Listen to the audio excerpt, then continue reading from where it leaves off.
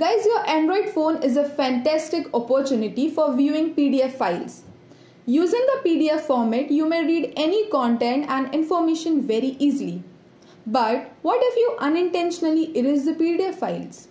So, how to get your Android phone's PDF file back?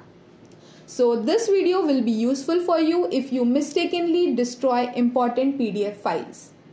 Hello guys, once again welcome back to our YouTube channel and you are watching ITyug. And today I am going to share with you how to recover deleted PDF files on Android. However, this procedure will only work if you have a backup of your data in this case. It will simply restore all lost PDF files. So, without any delay, let's start the video.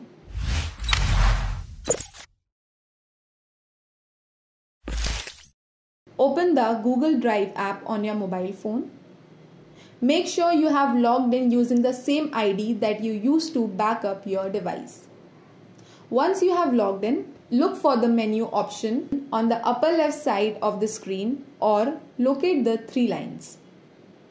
Once you click on three lines, you will notice several options. Now, select the trash or bin option you will find various files in your Google Drive trash bin.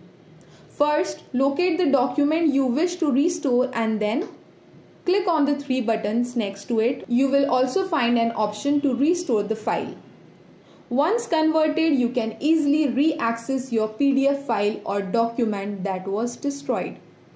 So guys, that was all about how you can recover or restore your deleted PDF files on Android very easily and I hope you find this video helpful.